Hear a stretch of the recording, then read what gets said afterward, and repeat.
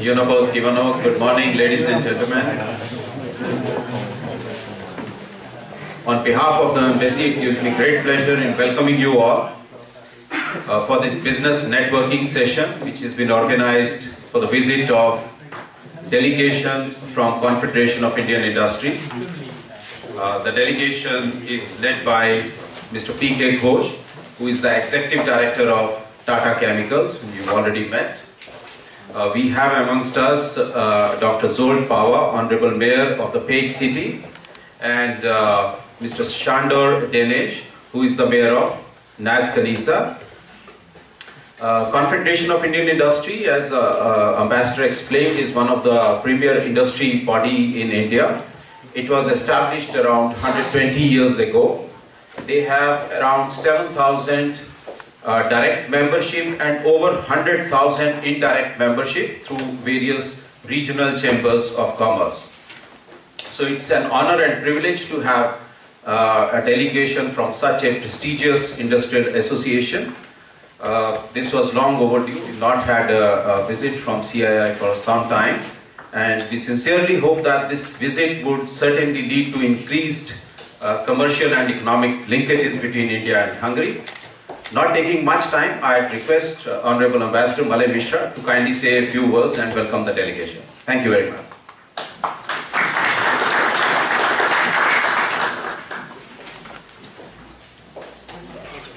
Thank you, Vijay. Honorable uh, Mayors of Pécs and Nagykanizsa on the dais, my colleagues from the mission, distinguished members, representatives of uh, Hungarian and Indian industry, members of the delegation who have been coming from India, the leader uh, team, uh, CII, uh, I see also the Dean from Sopron University, Dr. Attila uh, Fabian, welcome to you. Uh, he is academic, but uh, he also wants to see what are the opportunities available from the industry side. Welcome to you all. Well, I won't say much. I think it is best for you to interact with the people after knowing uh, what are their profiles, what are they brought here, what can they do here, uh, because most of them would have uh, uh, interests in Hungary. They know somewhat about Hungary, so I don't want to tell much about it. I also would not like to say that uh, we in, in uh, the Indian Embassy are constantly uh, making efforts to see how best we can promote our investments, which has at today's date reached about 1.8 billion uh, US dollars worth.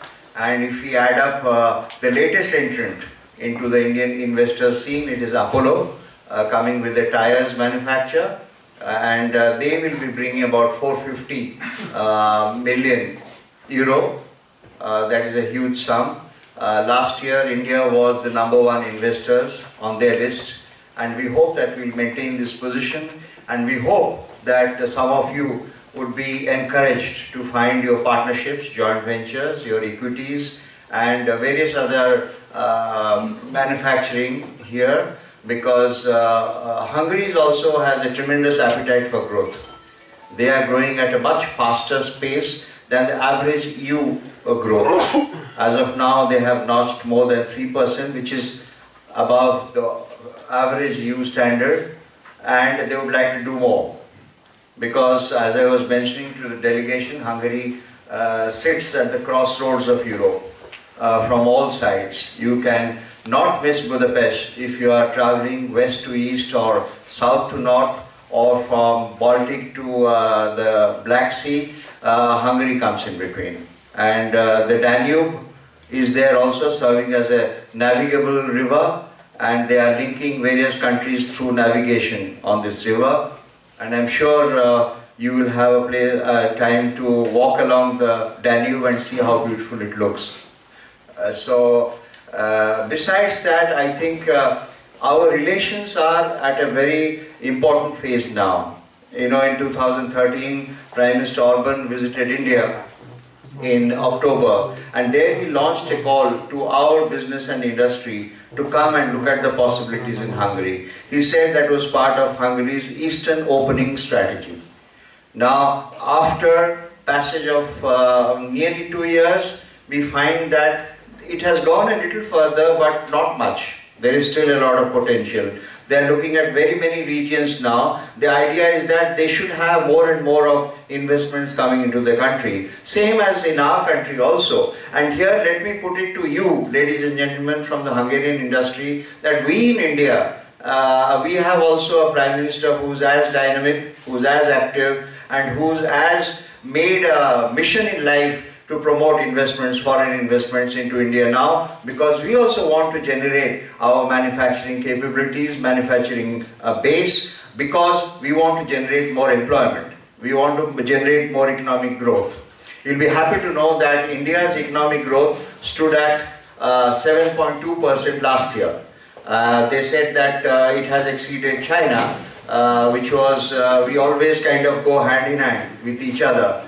Of course, 7.2% uh, uh growth uh, for a population of uh, 1.25 billion uh, with uh, 2 trillion GDP percent is not very much compared to China's 7% for a population of 1.3.5% for a GDP of 13 trillion. So if you take the, uh, the per, per capita uh, it is quite substantial. I mean, there is still a big difference, but no one is going into that.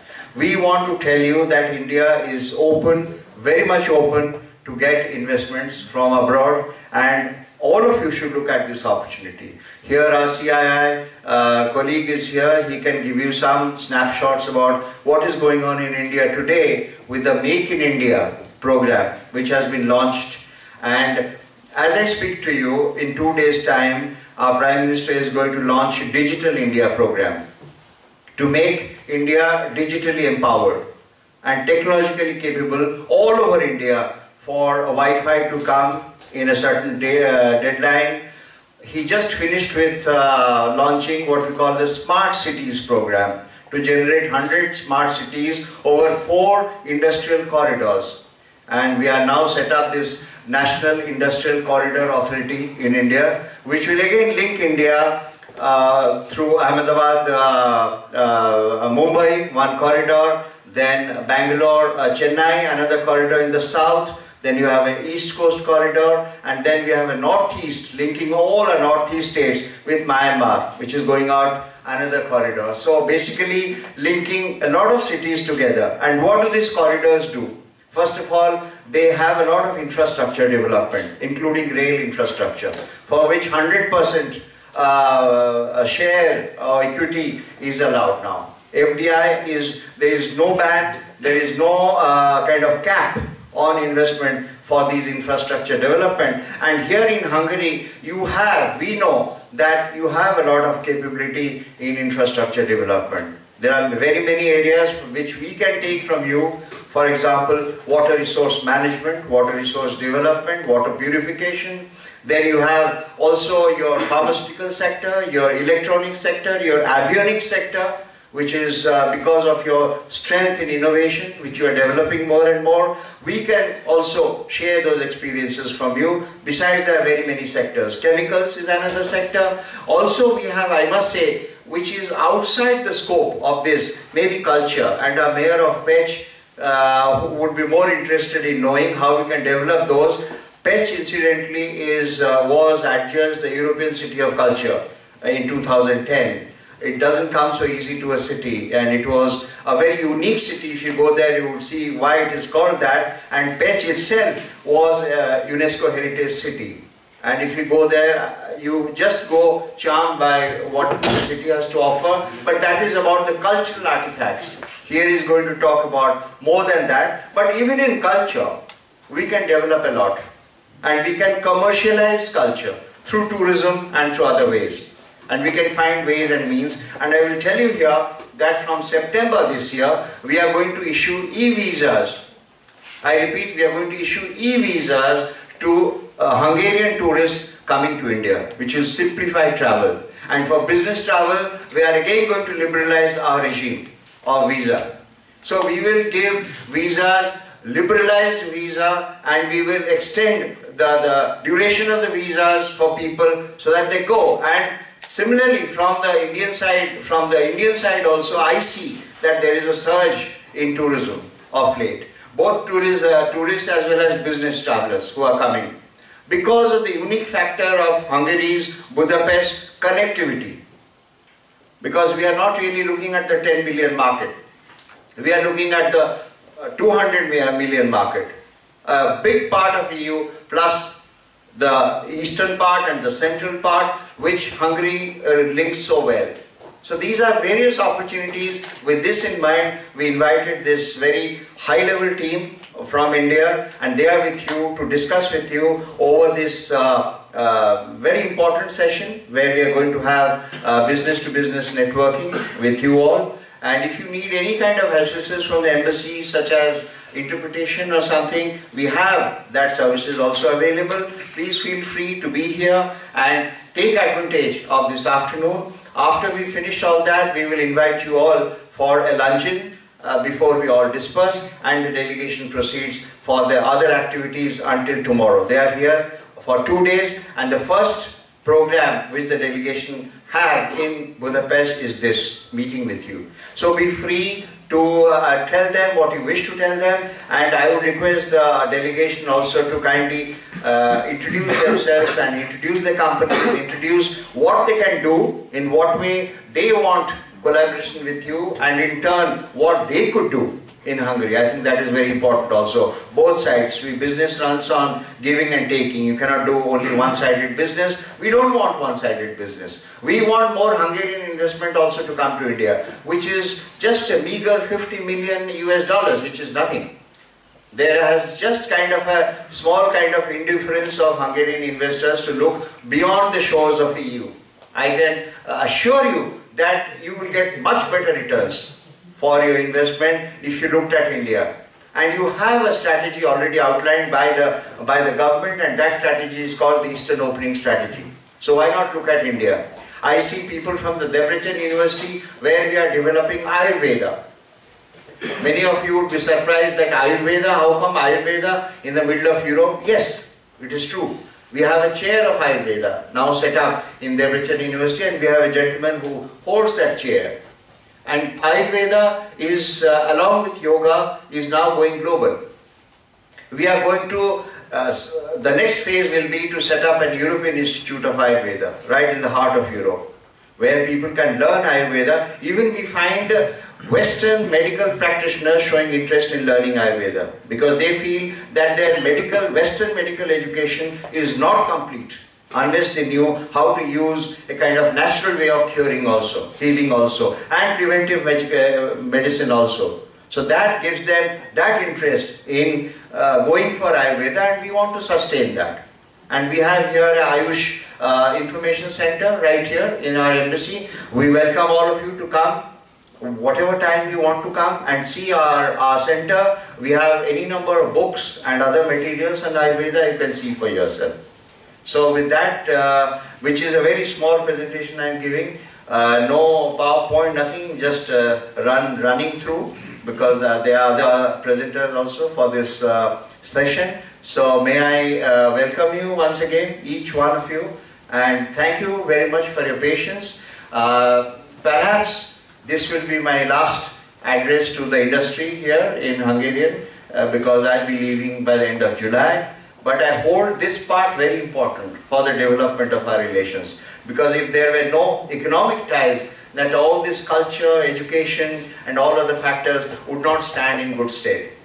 We have to have a certain uh, depth and certain level of our economic uh, progress, economic relationships. And I must tell you that we are developing not too badly, but we want to make it much more faster because India has the capability to deliver. And India also has the capability to invite investors from all over the world. Only last year we had a boost of 22% in our foreign investment. So that shows that people are looking at India as one of the most promising emerging destination for foreign investment. I make this call to all of you here to please look at India also. While you are welcoming Indian investors to come here, you also please come and look at India. You can come as a, as a tourist and go around seeing the facilities. And if India holds your interest, come back again. With these uh, words, I thank you all. I thank the honorable mayors who have made this trouble of coming all the way from Pécs and Nagykanizsa, which is on the border again, very much close to the border, and Pécs, which is also not far from the border. I was telling them that uh, you have seven borders. So wherever anybody comes to Budapest, he is near the border. So with these words, uh, thank you very much. And uh, once again, enjoy this afternoon. Thank you.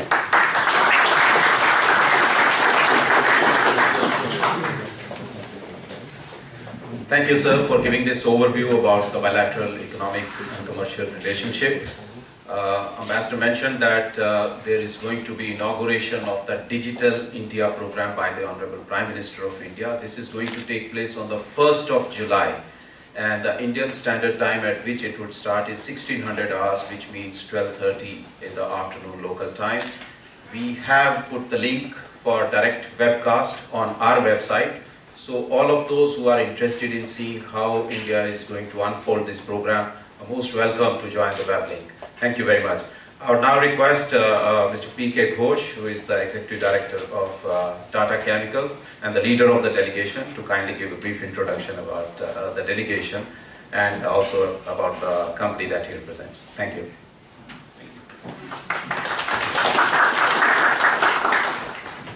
Thank you. Joe Regent, have I spelled it correct? Pronounced it correct? Okay. Uh, His Excellency Mr. Malay Mishra, Ambassador of India to Hungary, uh, all mayors on the dais, uh, and friends. A very good morning to you all. On behalf of the Confederation of Indian Industry, my fellow delegation members, and on my personal behalf, I would like to say how delighted we are to be amongst your midst. In this beautiful city of Budapest, which is, you know, when I came here for holidays last September, for the first time I came to know that it's divided into two parts, Buda and Pest. Uh, let me start by expressing my thanks to His Excellency Mr. Mishra uh, and for the help that he has given and extended to the Confederation of Indian Industry in making this delegation possible. Friends, India has been progressing steadily on the path of economic liberalization. Since coming into power in May 2014, the new government has adopted several measures to reinvigorate investor interest and generate positive sentiment amongst the Indian economy.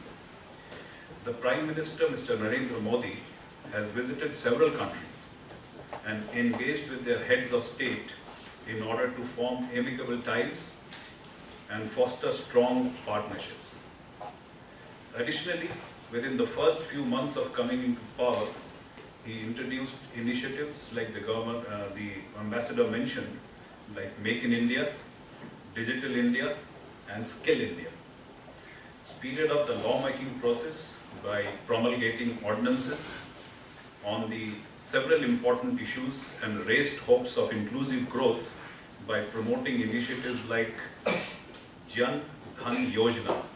Translated, it means bank accounts for the poor. And the Swachh Bharat Abhiyan, which means in English cleanliness drive. Finally, the last few years lull in the reform space has been replaced with some activity after the elections of this election of this new government. Some of the most important reforms initiated are in the areas of further opening of sectors like defense, railways and insurance to increase FDI by raising the limits, bringing about a number of positive changes to the taxation. And many of you would have heard about retrospective taxation, which created a lot of uh, hullabaloo in the market. But I think that's now behind us with very clear uh, policies from the government, as well as on land acquisition and on the labor origin. The government is committed to easing the regulatory environment uh, for ease of doing business and has taken several steps in this direction. Among the sectoral initiatives, the Make in India initiative seeks to make India a manufacturing powerhouse. The initiative contains a raft of proposals desi- designed to get local and foreign companies to invest in the Indian manufacturing sector.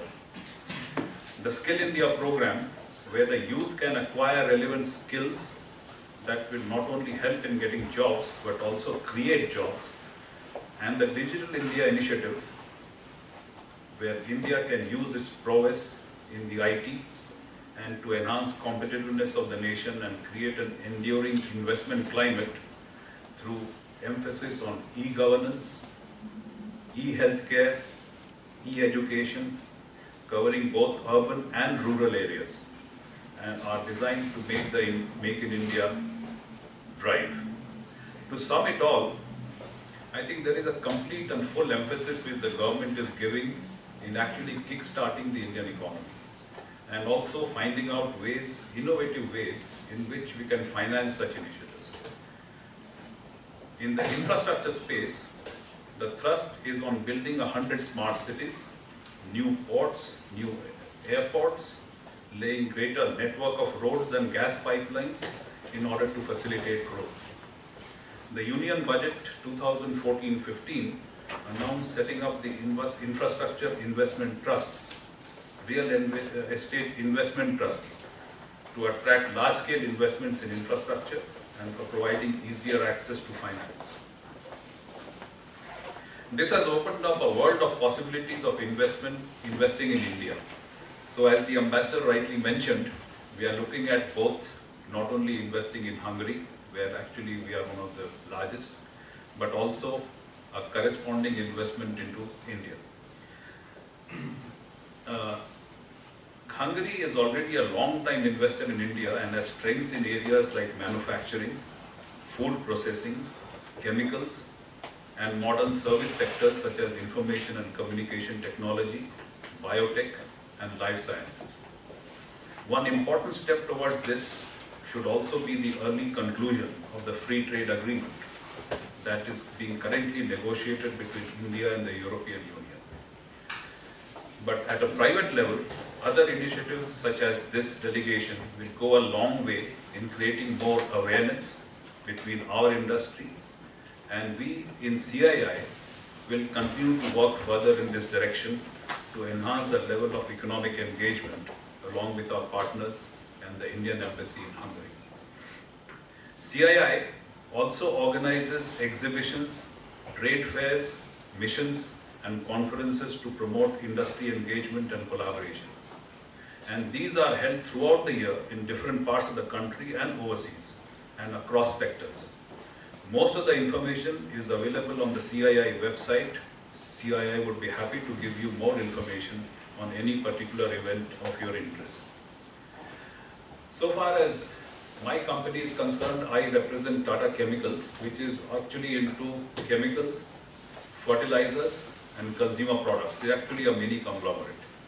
But I represent a much larger group, which many of you would have heard, and which I'm prepared to talk to you about when you interact with me today on the Tata Group, which represents more than 100 companies. I don't have the current year's turnover, the entire turnover, but last year it crossed 100 billion. 100 companies, 100 billion into seven key sectors. And these broadly are materials, which is steel, power, uh, cars and vehicles, like Jaguar Land Rover, which is with us, Corus, which is with us in UK, uh, chemicals, uh, entertainment, services. TCS represents us all over the world in how many, I don't know, must be over 70 countries. And I'm prepared to talk on any of this which you collaborate, which you want to collaborate with today, although I represent one company, but I'm pretty much aware of the Tata Group. With these few words, may I now invite my fellow members of the delegation to introduce themselves and give a brief view of their company. Thank you so much.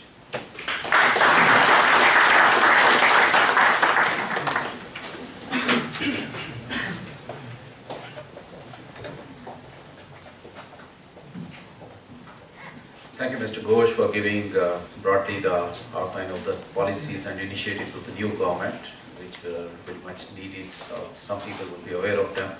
In a nutshell, you uh, actually summed up the uh, policies and initiatives. Thank you very much.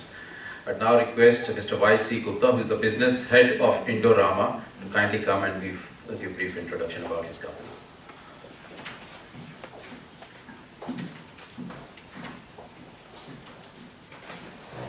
Morning. His Excellency Mr. Mishra, to peers on the dais, my friends. My name is Y.C. Gupta and I am country head of Indorama International in India. Indorama is a multinational group. They have 56 manufacturing facilities all over the world. They employ more than 50 nationals and we have more than 30,000 employees in the group.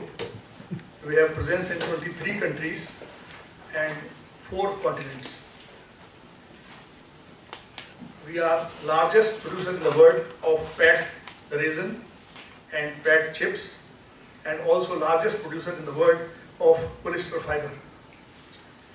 We boast, we claim that every third water bottle, PET bottle is made from our material because we control about 35% of the international market share.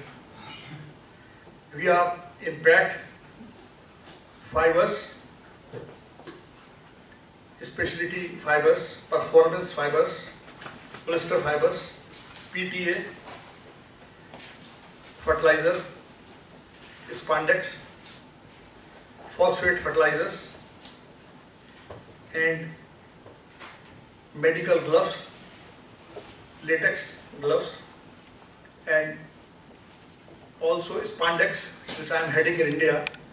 The spandex is generally known as uh, lycra, which has a 600 times, 600% stretchability, and it is now largely used in every textile, clothing, utilities, even in medicinal like crepe bandages, surgical bandages, in active wear, intimate wears, casual wears, sports wears, suitings, shirtings, denims, because it is giving now comfort to every clothing which we are using in the body.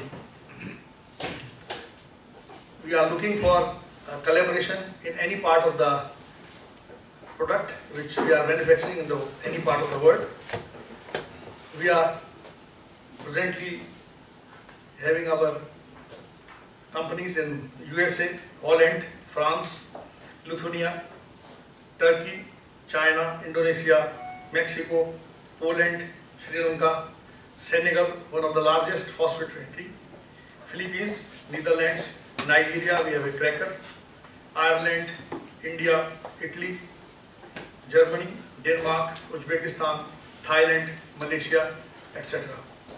I will be too happy to discuss with any interested party and it will be a great pleasure for me to interact with you in this session. Thank you very much.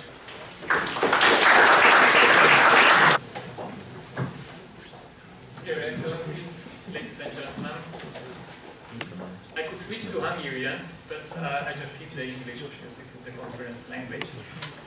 So my name once more uh, is Attila Tóth. Uh, just a very short uh, introduction about myself.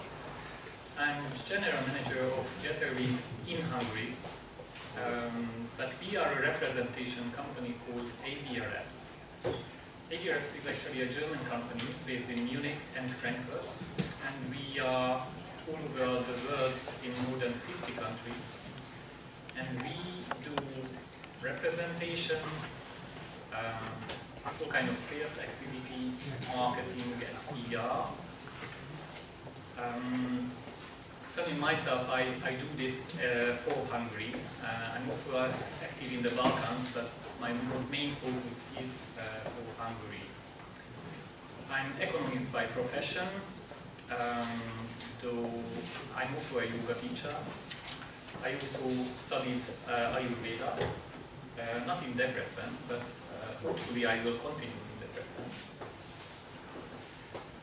Um, and um, our company, AVIAREPS, in Hungary, um, we have 10 airlines. We have also hotels, uh, tourism boards in our portfolio. But it's a general sales, marketing, PR activity, what we could also do for other uh, trade partners as well. But to do this in the opposite way, to make it um, more interesting uh, for you Hungarians, um,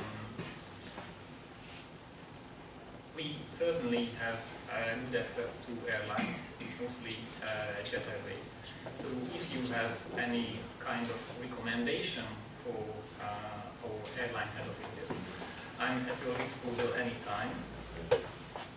Um, and also for hotel business, since I'm um, in the tourism business since um, 25 years.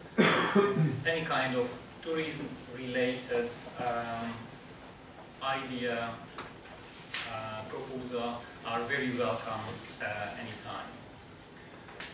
And for uh, our Indian friends here, um, of course, the uh, representation, sales, PR activities are always very welcome.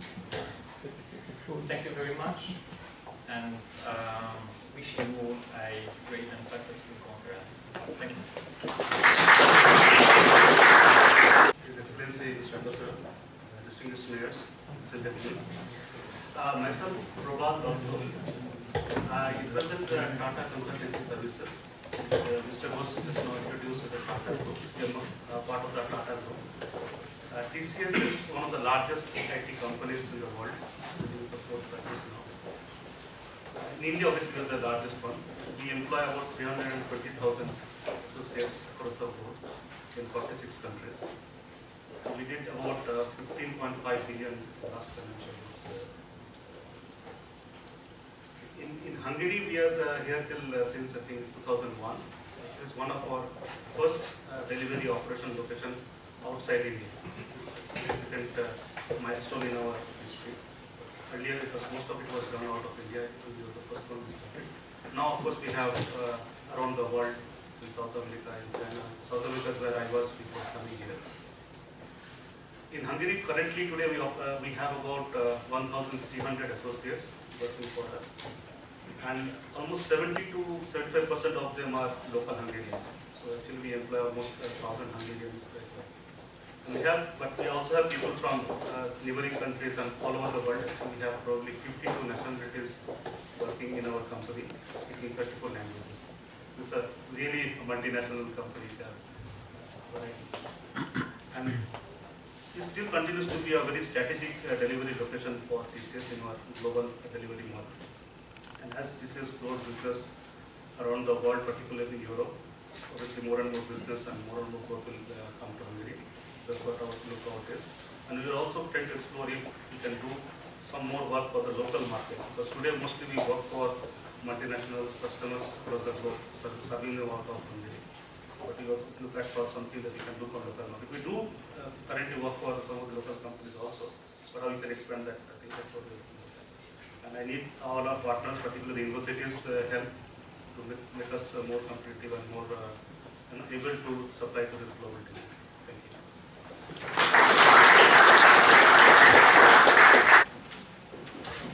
His Excellency the Ambassador, respected uh, mayors from Paris and friends. Uh, my name is Aditya. I uh, represent the Confederation of Indian Industry, which is one of the premier organizations of uh, business associations in India.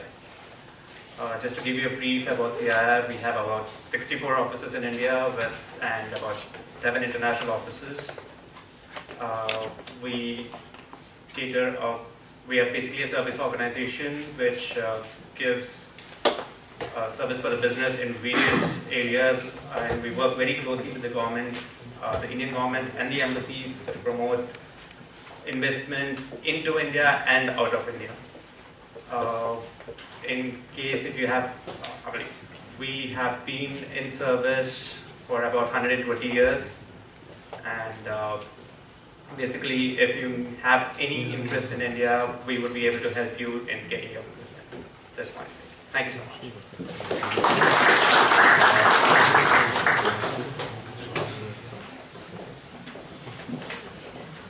Also, you would have noticed that the delegation represents vast spectrum of the Indian industry, uh, various sectors, various fields, opportunities in every sector. Uh, I now request Mr. Tamás Szűcs from Ernst & Young to kindly give a briefing about tax and other incentives available for investment here in Hungary. Mr. Szűcs. Uh, I will introduce myself. My name is Tamás Szűcs, and uh, I'm working for Ernst Young uh, Advisory uh, Hungary. Uh, and I would like to thank you for the opportunity on behalf of, of my company to be here here today. Ernst Young provides both advisory services, assurance services, and and tax advisory services. Uh, for, for both Hungarian and multinational companies, and we have a, a, a worldwide uh, advisory services with more than uh, 160,000 professionals uh, in the world. Uh, today I would like to uh, give you a short presentation about the Hungarian business environment, uh, tax environment, uh, which is I know it is uh, it is not a, a commonly liked uh, topic. Uh, taxation uh, uh, is a, is a painful for for for uh, companies uh, companies. But uh, I will I, I hope that uh, I will give you um, uh, an overview that uh, these these taxes can be can be significantly reduced via investments. Um, so. First of all, I would like to give you an overview about the Hungarian business and the tax environment. It was it will be a very very quick overview. Uh, I would like to highlight that uh, Hungarian uh, economy uh, provides very good talent pool for, for companies, uh, very good talent pool for, for white collar and blue collar workers with very good language skills and very good ed- educational background. We have a very employer-friendly labor law, uh, which is uh, which is in, force uh, a little bit more than one year. We have a very very new labor law, law system. Uh, Hungary provides very good locations for uh, for investments. We have very good uh, category A office buildings. Uh, uh, for, for office work and uh, very good locations for, for both greenfield and brownfield investment. Um, the most important tax is for the companies is the corporate income tax, which is uh, 10% up to 500 million Hungarian forints, which is 1.6 million uh, euro, euros, and uh, 19% above. Uh, this uh, effective tax rate is one of the lowest uh, within the EU. Uh, the tax uh, is based on the on the accounting profit of the companies, and uh, the accounting method is uh, follows the Hungarian GAAP. Uh, in few years, IFRS standards will also be introduced in Hungary, but uh, today also the Hungarian GAAP accounting is available. Uh, tax losses uh, originating from uh, from negative uh, corporate income tax base uh, can be carried forward for five years. There are very very good opportunities for for reducing this tax rate. I will mention uh, later the corporate income tax rate, which is a investment-related tax rate. But uh, for example, if a company supports sport organizations, that a very good uh, uh, tax reduction can be achieved.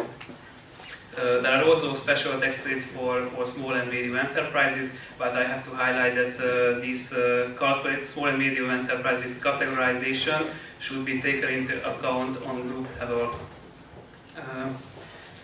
Hungary provides a very good uh, profit repatriation uh, profit repatriation uh, system. Uh, there are no withholding tax on dividend, uh, interest, and royalty paid abroad. Are, there are no uh, restrictions for for dividend payment abroad. Um, we have a very good special IP holding system. If a company does not pay royalty abroad but uh, receive royalty payments, then in case of corporate income tax, only the half of this, uh, this income will be taxable. so the 50%. And uh, in some taxes like the local business tax and, and the R&D tax, this uh, royalty income is, uh, is completely tax-free. Um, as I mentioned, uh, there are two main business uh, tax type uh, for, for the Hungarian companies. The local business tax, which uh, tax is paid uh, to the local municipalities, and it is uh, it is uh, the rate is based on the municipality, uh, but it is maximum uh, two percent. And the R&D tax, which is uh, uh, paid to the to the uh, state budget, uh, the rate is uh, 0.3 percent. Uh, Hungary has a very excellent uh, tax treaty network.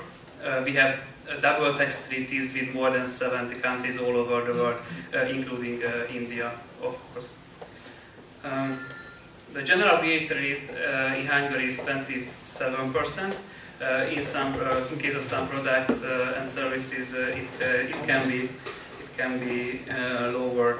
The EU regime is following the the EU directives. Um, it's very important that, that export of goods and services are tax exempt. And uh, we have also a very good uh, percent income tax rate. It is 16%, but uh, as of 2016, it will be reduced by 1% to, to 15%. So this was about the uh, very brief, brief overview about the Hungarian tax regime, and I would like to uh, say some word about the Hungarian uh, uh, subsidy opportunities in, uh, in case of investment. First of all, I would like to share you a ground rule that each of the subsidies can be achieved only if the, the applications to the relevant authorities is submitted before the start of the investment. So it's very important in case of, uh, in case of these uh, opportunities. Uh, First of all, I would like to share some thoughts about the, the VIP cash grant, which is a non-refundable cash grant uh, provided by the Hungarian company. Uh, it is available, of course, for foreign investors uh, as well, uh, because the Hungarian government, uh, uh, government supports the foreign, foreign investments. Uh, the minimum threshold of this uh, of the investments if a company want to apply for this uh, for this uh, non-refundable uh, grant is 10 million euros but uh, this depends on the, the location of the investment and uh, minimum 50 new workplaces should be created.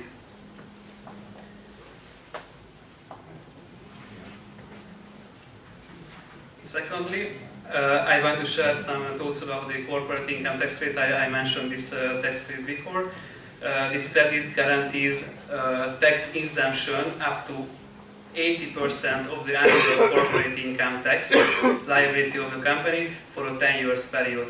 This uh, amount of the tax credit uh, which can be used for this 10 years period is also depends on the on the investment value, and this amount can run parallel with the with the VIP cash grant, but together these two subsidies cannot exceed the intensity ratio. Uh, we will talk uh, talk this ratio about uh, about later. Uh, the minimum investment value is 3.3 million euros, which is uh, 1 billion Hungarian forints.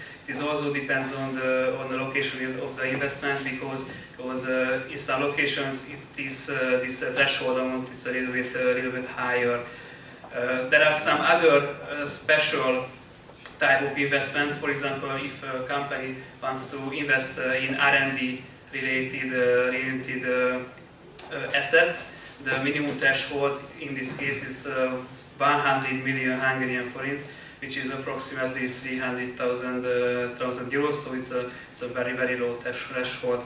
Uh, job creation should also be uh, conducted.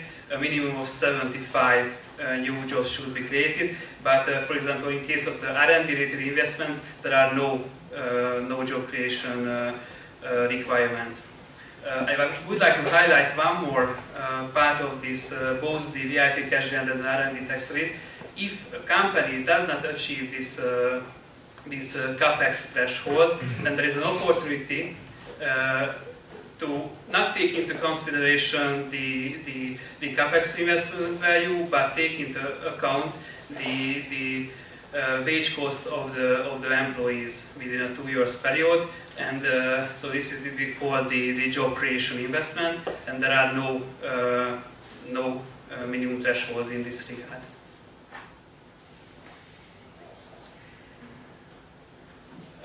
In this map, we can uh, we can see the the intensity ratios. So east and south part of the countries, it's a, it's a higher because uh, these are the, the less developed, developed regions uh, in Hungary, and uh, generally we can say that uh, the less developed the uh, the region, the more uh, the more grant can be achieved. Unfortunately, uh, Budapest and uh, some other cities uh, in its agglomeration, so in the Pest County, cannot be subsidized by this by this grant. And one last thought: there are training training support subsidies. I mentioned that the Hungarian government uh, really focus on the, on the, education of the Hungarian uh, Hungarian young professionals and up to the up to the uh, in addition to the other other two uh, type of investments I mentioned, there are training subsidies uh, with a minimum uh, 50 new workplaces. Um, maximum uh, 3,000 euro per employee training uh, subsidy can be achieved. And finally, I would thank you for the for your attention. Uh, I hope that I could uh, provide you a, a brief uh, overview regarding the Hungarian investment opportunities and, the tax regime. And if you have any questions about details, please feel free to contact me. Thank you very much.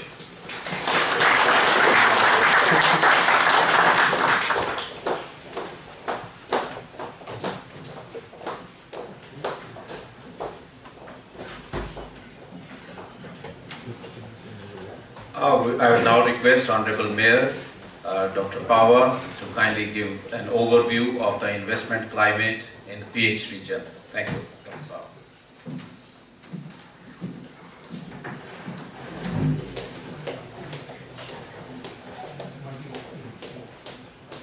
Ambassador, dear participants, ladies gentlemen, first of all, let me thank you very much the opportunity that I can give a kind of picture kind of uh, looking out uh, to my city, city of Pécs.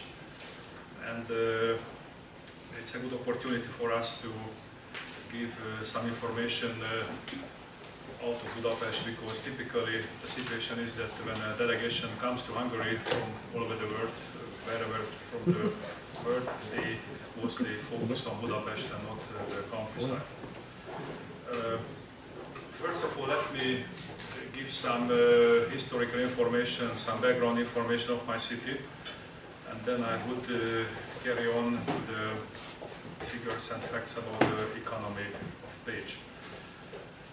Pécs is located in southern Hungary, about 200 kilometers from Budapest, uh, close to the Croatian border. For a couple of years, uh, the city is linked to Budapest with a, with a highway, and uh, it's much easier to get closer to the capital city since time.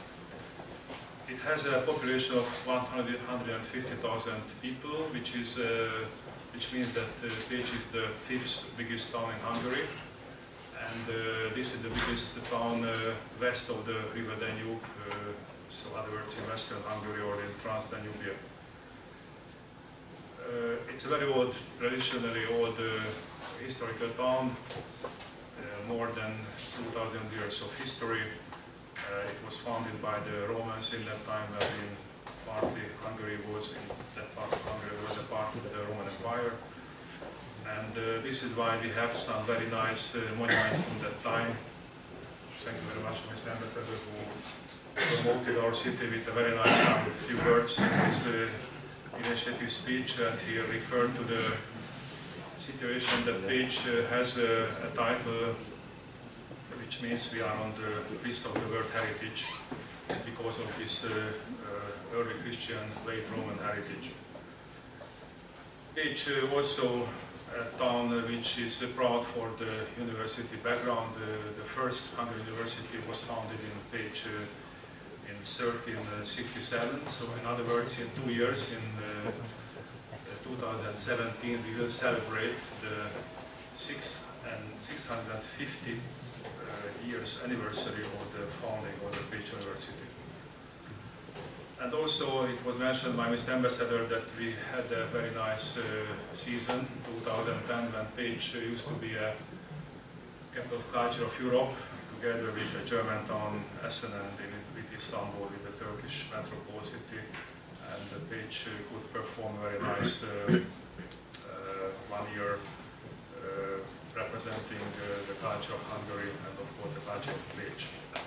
Uh, Pécs is a city uh, which has uh, two faces, I would say that. As you put here from my previous sentences, uh, Pécs has a very strong tradition in terms of the culture, the education, uh, the tradition, but also we have to face with uh, another challenge, which is the lack, uh, the relatively weak situation of the local economy. Why this happened? Uh, Pécs used to be a very industrialized town in the communist times and since the transition of the political system uh, has gone or has, has occurred, uh, since that time uh, the traditional industries has uh, collapsed. I mean mostly the mining industry, coal and uranium mines we, we did have, they all have been closed in the last 20 years. So Pécs uh, hasn't any significant industry in this moment. We, of course, we have some traditional industries, uh, based on the traditions of the former times, we have a very famous, in Hungary standards, we say famous uh, porcelain factory, the Zsolnay factory. We have uh, some food industry, brewery, champagne we produce. Uh, tobacco is very famous, uh, British American tobacco has privatized our tobacco factory. And we have some uh, good uh, initiatives uh, in the field of the machinery, machinery industry, and also in the high-tech industry, but these are only uh, not characteristic uh, features of the city. Uh, so our challenge is to somehow to, to change this not favorable situation in my city, and we are very much committed in the next coming five years, which is a very important uh, period in Hungarian uh, history, I, I think because uh, this uh, coming five year will be a period that we can utilize the investments funds, mostly coming from the EU. So this is a very important case when each city in Hungary is able or not, it depends on, on its, its, its capacity, to stabilize uh, or to put in the right way the local economy. If the cities, including mine, mine uh, can utilize these resources in the right way, we can keep the right track, otherwise the, the consequences will not be really fine. Our aim is uh, in this aspect that uh, we have to give and we have to create uh, a complete infrastructure of the economy. So in other words, we have to uh, build up those kind of facilities which can invite the investors to Pécs. I wouldn't say we haven't any investors so far, but uh, we, we, need much more and we are fo focusing to invite uh, much more investors uh, and, and, entrepreneurs to, to Pécs and this is, the, this it's a good opportunity that I can uh, speak uh, in, in front of your delegation from India how we, how we can imagine how we are how we are focusing and how, what kind of uh, vision we have uh, of uh, as an industrialized town. I do not want to give you figures my colleague put together many sheets of paper, but we just heard a very nice introduction from the previous speaker how the Hungarian background, uh, the economic uh, situation in terms of the taxation and the different kind of uh, legislation uh, situation of Hungary, so I do not want to repeat them. But uh, I also would like to focus on that uh, in Hungary one of the crucial points or questions uh, how we can invite uh, uh, economy or investor to a town is the labor force. You could see some minutes before the map of Hungary and there was a line from mostly from the west to the east uh, uh, and uh, I would say that uh, from the north uh, to the north uh, from this line is considered to be more or less developed area in Hungary and south of it is underdeveloped which is under this line because we are in the southern location now. And I would say that it is not good for us, of course, that we are on that part of Hungary which is not developed in terms of the economy. But it also good if we refer to the labor force that uh, Pécs and the neighborhood is the area in Hungary in southern. And India. And we do have labor force, still have labor force and still labor force.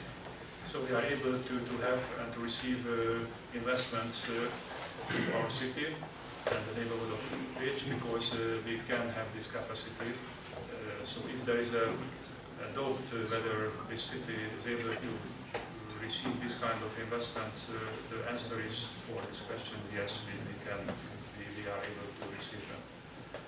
Also very important, uh, what kind of uh, infrastructures we can provide the investors. I just mentioned the highway, which is in operation for five years, but also we have a regional airport, which needs to be improved. Even it's able to receive smaller aircraft, but it's not enough big uh, to, to have uh, the the bigger, bigger aircrafts. So it needs a kind of improvement. Also, we have uh, very finely finished uh, lands in uh, the neighborhood of Pécs, uh, just at the border of the city, with a good location and close to the highway, close to the airport. It's the 200 hectares of area, which is equipped all the required facilities, uh, water, sewage, electricity, uh, communication, roads, everything is uh, completed. So we will still wait and we uh, have intention to welcome the investors in our city. Pécs University, what I mentioned you, is a very uh, traditional old university of Hungary. It uh, has uh, 10 uh, different departments. The most important, I would say, the medical school, where there are quite dozens, I don't know how many, about 10, 100 or 150 students from India.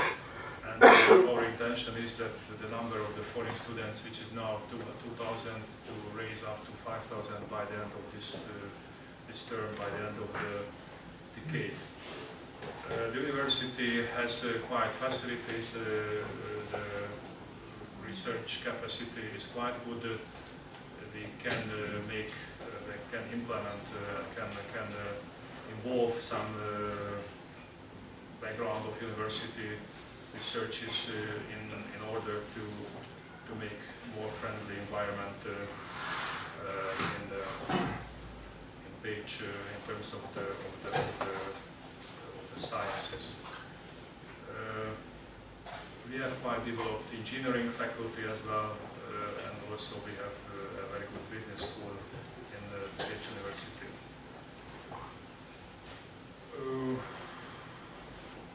This is very briefly what I wanted to give you as a kind of background information of City of Pécs.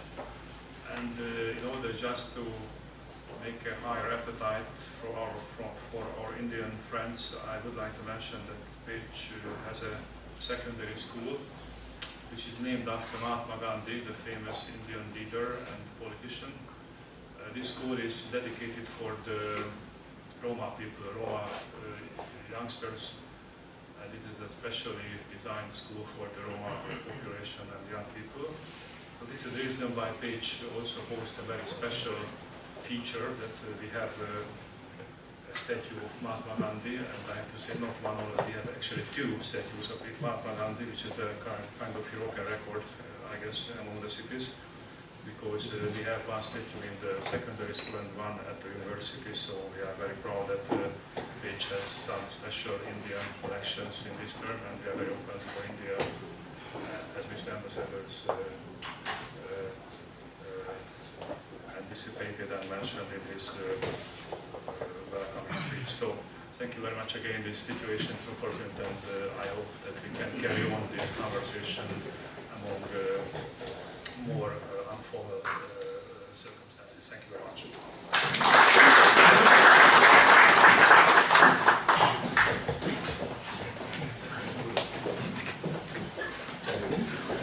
Uh, Thank you, Mr. Mayor. We already have, we saw that there are linkages with Pécs, with India, and we hope that these linkages from the cultural side uh, would get strengthened in the economic and commercial field also.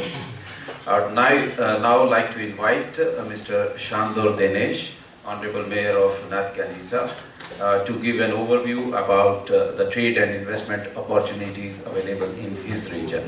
Mr. Mayor,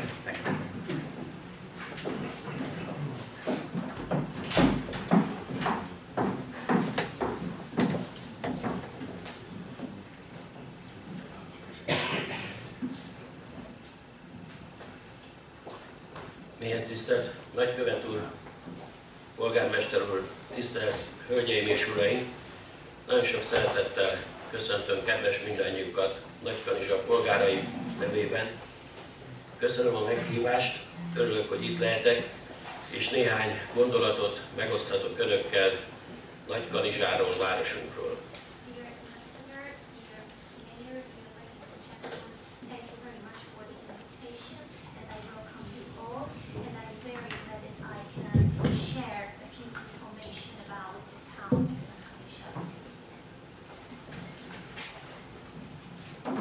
Nagykanizsa városa Zala megyében található.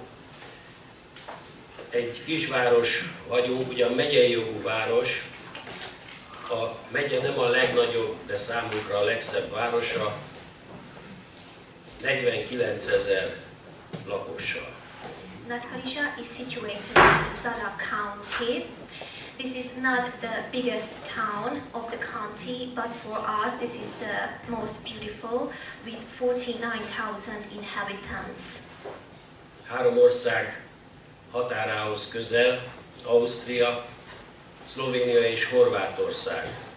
Natkarisha is close to three other countries, Slovenia, Austria and Croatia. Nagykanizsa az M7-es autópálya mentén található, Natkarisha lies next to N7 motorway. így fővárosunkból, Budapestről még talán két óra sem kell és elérhető. So the capital Budapest is accessible within only two hours. Körülbelül 31 néhány kilométerre található Sármellék, a repülőtér, About 30 something kilometers an airport lies in Sharm el-Sheikh. és körülbelül két és fél-három óra alatt érhető el Nagykanizsáról az Adriai tenger és a kikötő. And the Adriatic Sea and port is accessible within approximately two, two and a half hours also. Városvezetőként az egyik legfontosabb feladatom a gazdaság fejlesztése és a munkahelyteremtés Nagykanizsában. As the leader of the town, my biggest aim is the economic development and the creation of workplaces in Natkanisha. Jelen pillanatban ön 7% körül mozog a munkanélküliség, At present, the unemployment is uh, about seven percentages. míg a térségünkben lévő falvakban ez eléri a 20%-ot, tehát azt mondhatjuk, hogy átlagban olyan 15% körül mozog. In the region, it is it reaches the 20 percentages, so we can say that uh, all in all, this ratio is about 15 percentages. A munkahely teremtéshez elengedhetetlen. Az az iparterület, ahol infrastruktúra van, és ebben jelen pillanatban nem állunk olyan jól, ipari parkunk, mely körülbelül 150 hektár, az gyakorlatilag betelt. For the economic development and for the investment, it is a really crucial thing to have an industrial area with infrastructure. At present, our industrial park is almost full, which is uh, 150 hectares big. Ezért a legfontosabb ö, feladat az ipari területfejlesztés. Miniszterelnök úr az elmúlt hét kedjén járt Nagykanizsán, és az egyik legfontosabb bejelentés, se többek között ez volt, hogy Nagykanizsának egy közel 500 hektáros ipari terület kialakításában segít a kormányzat. At present, our biggest task is to extend our industrial areas. Last Tuesday, the Prime Minister was at our town and he promised to to um, ensure the town a 500 hectares big industrial area. Egy befektető, ha megérkezik egy városba, nem csak az ipar területre van szükség, hanem nagyon fontos, hogy ott legyen a szakképzett munkaerő. When an investors when an investor comes to a town, uh, it, it is not just the industrial park which is really crucial, but also the workplace, the workforce. Nagykanizsa, ugye azt mondjuk, hogy egyetemi város, egyetemünk nincs. A Pannon Egyetem, a Veszprémi Pannon Egyetemnek kihelyezett képzési helye, kampusza működik városunkban, ahol turizmus, vendéglátás, műszaki, informatika és gépész mérnök képzés van. Though it is said that Nagykanizsa is a university town, we can say that the University of Veszprém has its campus in Nagykanizsa, where hospitality, machinery, engineering educations are available. Nagyon büszkék vagyunk arra a magyar és Nagykanizsán működő cégünkre, a Hydrofield Kft-re, mely víztisztítással, vízkezeléssel, vízgazdálkodással foglalkozik. We are really proud of the company Hydrofield Ltd, which deals with water treatment, water management, water purification. És egy nagyon fontos az innováció kérdése, ezért az elmúlt év őszén Nagykanizsa városa, a Pannon Egyetem és a Hydrofield Kft. egy együttműködés során létrehozott egy vízkezeléssel, víztisztítással foglalkozó kutatóközpontot, a Sósernő Kutatóközpont. The issue of the innovation is also really important for the town. That's why the Hydrofield Ltd, together with the university and the municipality, established a research center which deals with uh, water management called SOS Research Center. Természetesen nem csak erre vagyunk büszkék, mind a gépgyártásban, mind a faiparban, bútorgyártásban, fémmegmunkálásban is működnek Nagykanizsán nagyobb cégek.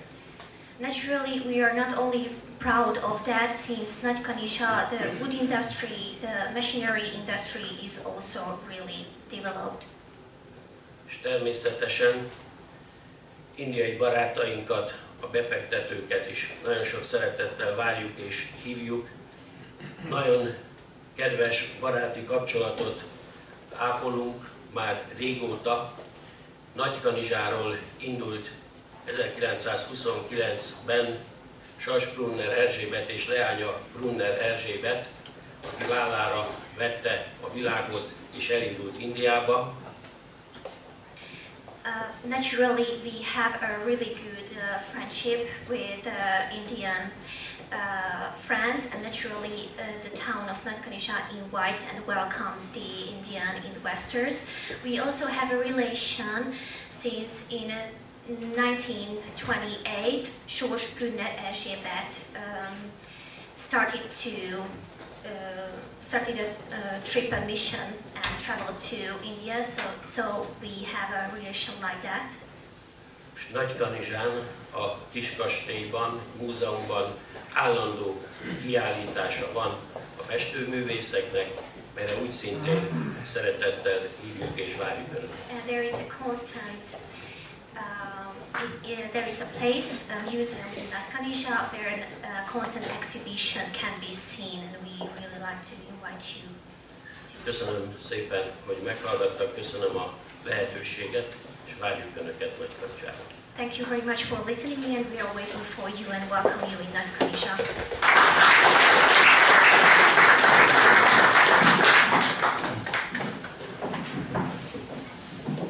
Thank you, Mr. Mayor, for this wonderful uh, speech and presentation, telling us about areas where we also have interest, like water purification, etc. I would now, I would now like, like to request Dr. Csaba Orosz, who is the Vice President of Confederation of Hungarian Employers and Industrialists, MGYOSZ, with whom CII also has an MOU, to kindly come and address the debate.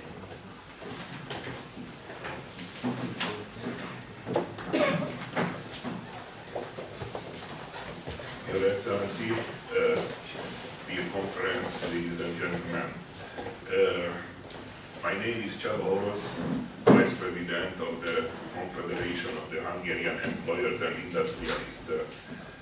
Let me uh, give you some uh, brief information. and, uh, Now I, I try to show you also, also some uh, uh, picture because my colleagues made an excellent job. And I think that uh, not only to her, but uh, to see it also gives you more information about our confederation. So, uh, first of all, it's uh, very important uh, that uh, the Confederation of the Industrialists is an independent organization and uh, uh, politically, financially, legally, we are completely independent and uh, we are supporting all the time the actual government. We are working together with the governments and uh, doesn't matter that uh, during the years, during the centuries, what will happen, we will represent our industry, uh, our country and uh, the business. Uh, history of the Confederation started not so early like yours, uh, because I heard that uh, Indian uh, Confederation is 150 years old, so our was established uh, in 1902.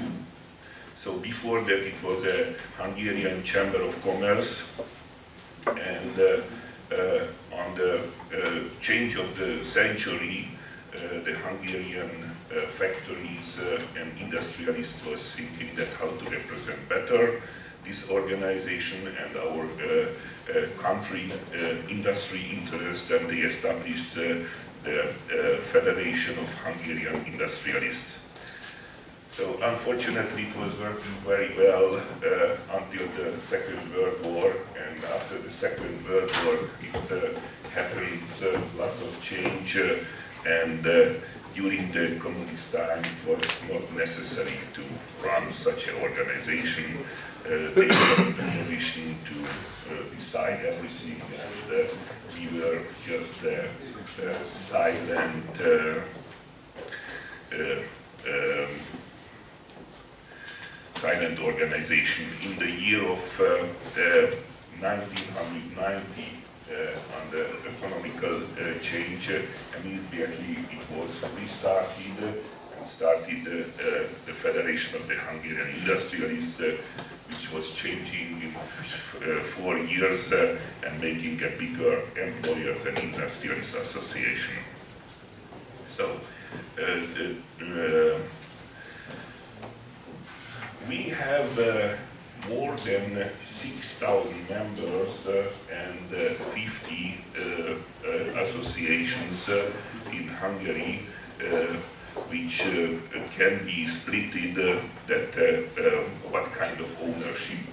All of the industry, the 100% Hungarian ownership, the joint venture, and even the uh, 100% uh, uh, foreign investment. So in case, gentlemen, if you invest in Hungary, very welcome, and I recommend first step is that uh, we are ready to negotiate on, on your membership and supporting you. field of activity is practically uh, all field, which means business, manufacturing, banking, servicing, and trading. Uh, company size, we represent uh, medium and large companies. Uh, uh, we have in Hungary several other chamber of commerce and associations uh, which are with the small active as well. Uh, but I think uh, uh, for you the most important, the large companies representation. now I have lots of job to put everything on the screen. Uh, I try to make it in one step. So uh, um, this uh, slide represented uh, practically uh, the Hungarian industrialists are in all sector and 40 professions. so all the foreign and overseas investors can find uh, in our representation where they can feel uh, themselves comfortable and uh, who is able to represent their interests. So the Confederation, even that Hungary is not a big country, uh, I say sometimes that uh, how large is that? Hungary is the seventh, ninth largest country in the world, so it means small. Uh, uh, Uh, uh, but uh, here we have uh, several districts in the area and we have re regional offices as well to keep better and closer connections with the industry and with the factories. Um, our mission our mission is uh, uh, represent the interest of uh, our members um, trying to make influence on uh, economical uh, policy, uh, keep contact with parliament, and um, provides a forum for expression and opinions. main issues main issue is that how to grow uh, uh, the economy uh, how to be more and more competitive because the competitiveness uh, is, uh, according to our opinion, one of the key issues that somebody will interested to make collaboration with us and starting negotiation. So due to the uh, high level of the uh, educations. Uh, uh, I think Hungary is uh, today one of the most interesting country in the Middle Eastern European sector and we can provide very good skilled people for all uh, companies who are uh, trying to invest uh, in So we are also keeping very good relation with the international organizations. we are a member of Business Europe, which represent practically more than 20 million companies in Europe, BIAC and ILO. So um, as you see, uh, and uh, any question I am ready to answer, we really try to keep uh, uh, informed ourselves what's going on on the economy. And uh, not on a political level, but I repeat again, on a competition level, we try to uh, offer something. And uh, I myself, I am an active businessman, and uh, running also uh, my business and uh, I can now tell you that maybe I am one of the Indian business now a few months ago starting to distribute the Mahindra cars. So if you invest in Hungary, so don't hesitate, I can sell you immediately Mahindra car with a very good service.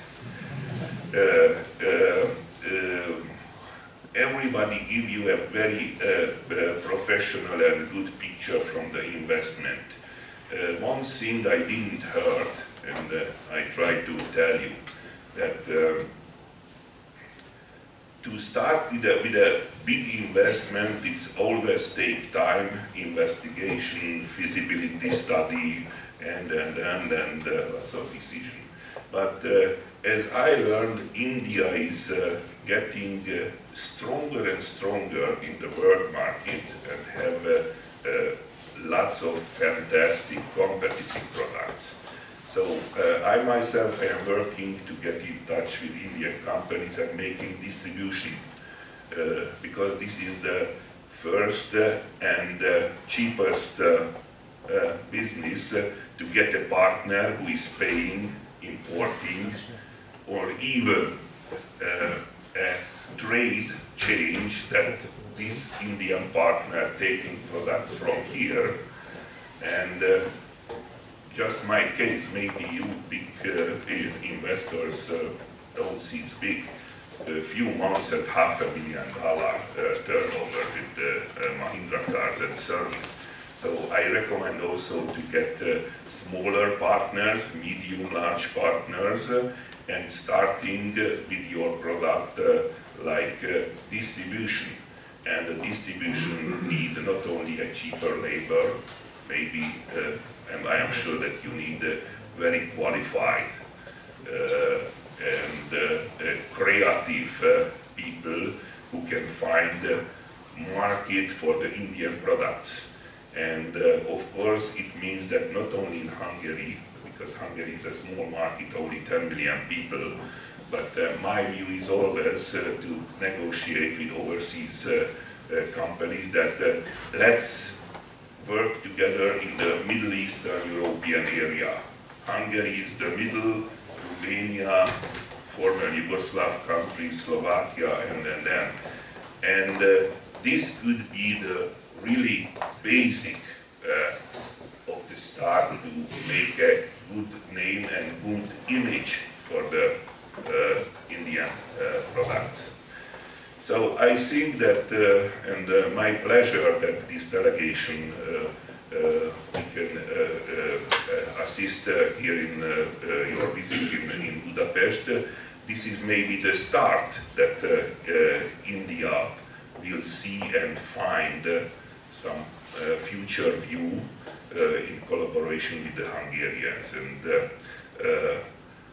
I would be happy if this is the first time to meet with you, but not the last time, and we can continue. Thank you very much for your attention.